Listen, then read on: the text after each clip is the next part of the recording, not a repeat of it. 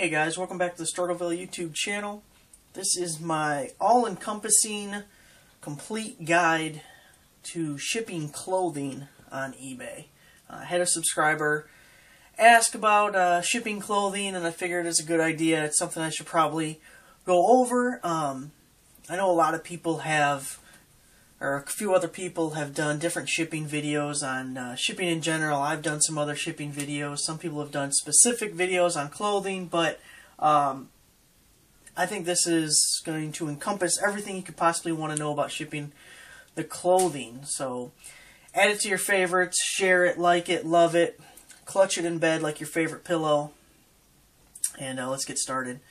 So when I'm shipping clothing, the first thing, I put these in order. These are all your options. And I'm going to put them in order of least expensive, which is your best option, obviously, because we all want to save money, to what is the most expensive.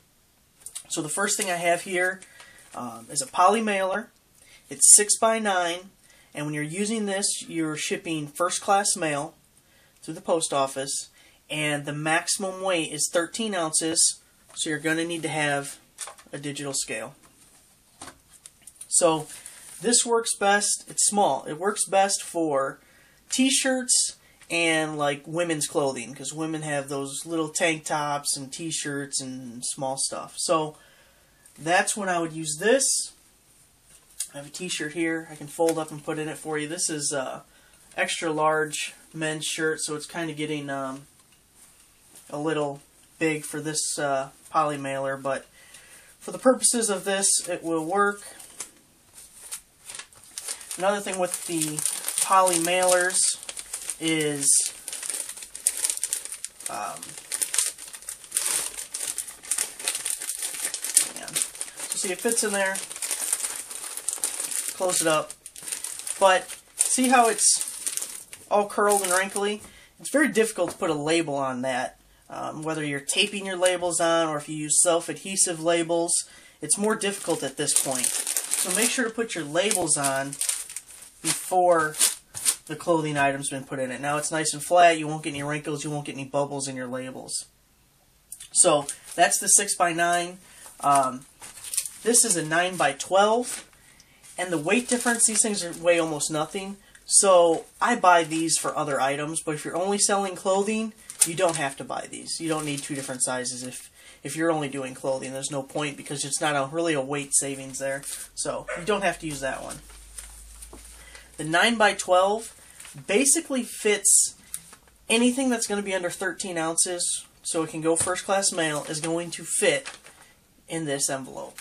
Um, so the same thing with the t-shirt. You can just stuff it in there. It fits a lot nicer. And there you go. Another thing when I'm shipping clothing, I know some people use packing slips, other people don't.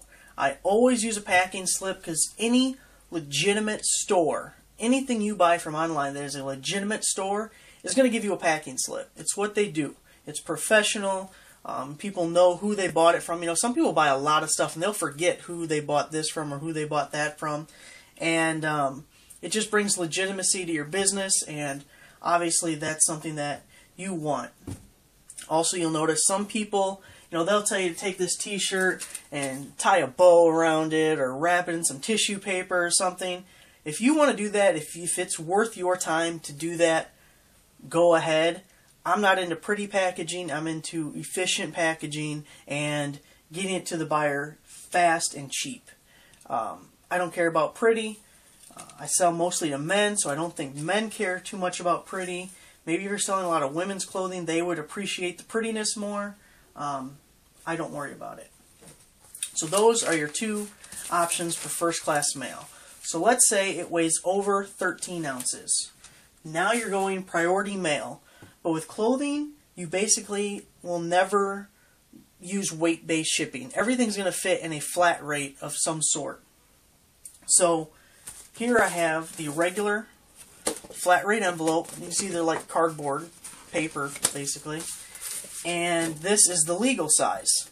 The regular is 12.5 by 9.5. The legal is 15 by 9.5, so it's a little bit bigger. Um, the legal is only five cents more than the regular. So I still have these, but I never use them because then it's two things I have to track, and it's only five cents difference. Um, I just I never order these anymore. I still have them because I haven't used it. So we're looking at the legal one um, right now with the holiday shipping discount, or if you're a top rated seller, uh, rates will probably go up in January, but this is four dollars and ninety nine cents right now. So. Um, a lot of people ship blue jeans in these. I don't. I use the padded, which we'll get to next, because the thing with this is it's cardboard. If it gets wet, it gets weak, and you'll get holes in it.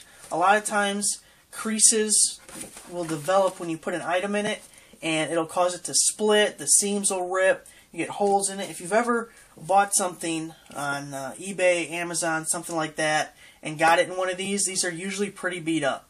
So one thing I always do is put tape all around all the edges. It takes a little bit more time, but um, you're never going to get something busting through the middle of it. It's always at a seam. So I got like this button-up shirt, which is actually under 13 ounces, so you would actually be shipping this in a poly mailer. But for the sake of our discussion, we're going to say it's over 13 ounces. So we just fold it up throw it in here. You see how it's kind of bulged and it won't crease along the normal line? Push it down the best you can.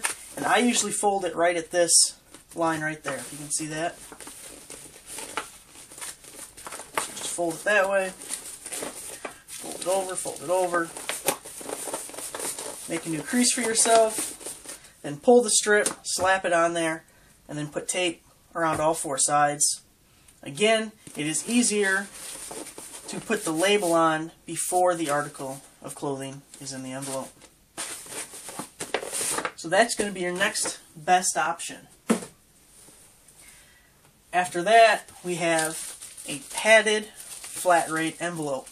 And this one is really nice because it's like a plastic material, so you don't have to worry about it ripping or opening. Also, it can hold quite a bit of stuff. Um, this is this is what I use for jeans because I think it just looks a little bit nicer and I don't have to worry about it splitting open. At the moment, these are $5.35 um, with the holiday discount. I think it might be like $5.70 um, regular, but about $5.35. I ship a lot of sweaters in there. So I have this sweater here that's sold. Um, $17 in free shipping, so my free shipping is a padded flat rate. These are a little bit more difficult to stuff things in. But I also have another shipping tip video. If you, um, I'll put an annotation in this video, but it's to shrink clothing that won't fit. Like, to get hoodies into this padded flat rate, they typically won't fit on their own. You'd have to uh, shrink them down. So what I do is put them in a plastic bag, kind of like one of the small garbage bags, and hook it up to a vacuum, and it sucks the item down, makes it smaller. So I'll put the annotation up. You guys can check out that video if you're interested. Um, but same thing. Fold this over, and slap your label on or slap your label on first. Um, the other thing about these is you don't have to worry about taping the seams, but I always tape the flap just to reinforce it just in case, especially if you've really packed this thing full. Um, sometimes these look real round and real stuffed, and post offices will give you a hard time about it, but uh, anything that fits, anything where this can still steal on its own, you can ship it at the flat rate price. Don't let them talk you out of it. Um, you are allowed to tape it. You're allowed to reinforce the seams as long as it can close on its own without that tape. So do not uh, fold under pressure and let them push you around. Now sometimes your last option, this is a regional A box. And I have a, a video on how to use these boxes in general.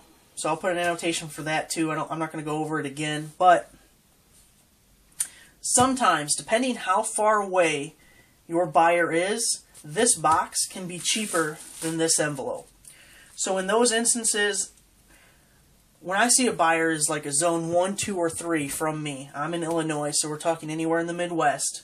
When I'm going to print my shipping label, the default I'll have, let's say, is this padded flat rate. But I see that they're in a location close to me, so I will just check and see how much the regional A would cost to ship. Let's say I'm shipping this to Chicago, which is a zone 2 to me. This would cost $4.80 compared to the $5.35 for the padded flat rate, so I can save myself an extra 50 cents. Plus, the buyer gets their item in a box instead of an envelope, so it looks nicer. Um, also, I use this for jackets because even at a region 8 or a zone 8, I think the highest it gets is about $8. So I usually charge shipping. If I know I'm going to be using the regional A box, I charge the buyer calculated shipping um, that they pay. And everything else, I do free shipping on clothing. But um, jackets, suit jackets, which was the specific question of the subscriber, I use the regional A box. And so you just fold it up. I notice these new ones I got, the cardboard is so weak, it doesn't even fold at the seams that it's supposed to. So be careful putting breakable stuff in these boxes. But, um,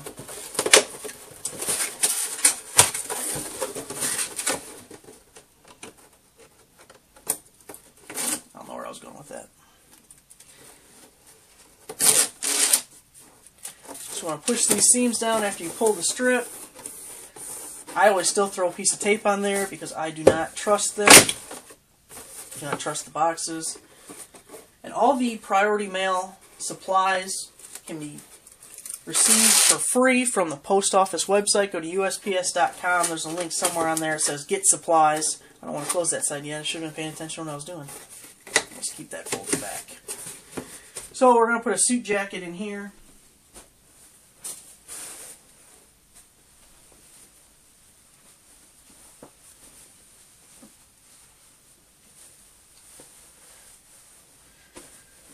Fold it up,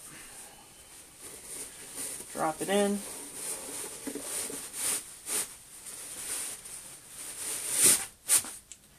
And there it is. So seal it up. And I might as well seal it since I already pulled the strip. But, so there you go. Doesn't move around too much. It's pretty good fit. Looks a lot nicer than the envelope.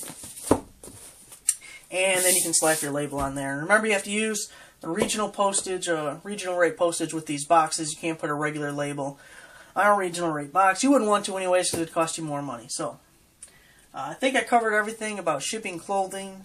Hopefully this helps you guys out. Like I said, make sure to like the video, subscribe if you're not already subscribers. Lots of other shipping videos and eBay videos and uh, buying and selling videos. So, thanks for watching, guys. If you have any questions, feel free to leave a comment, send me a message. I'll do my best to uh, answer them as quickly as possible. Thanks, guys.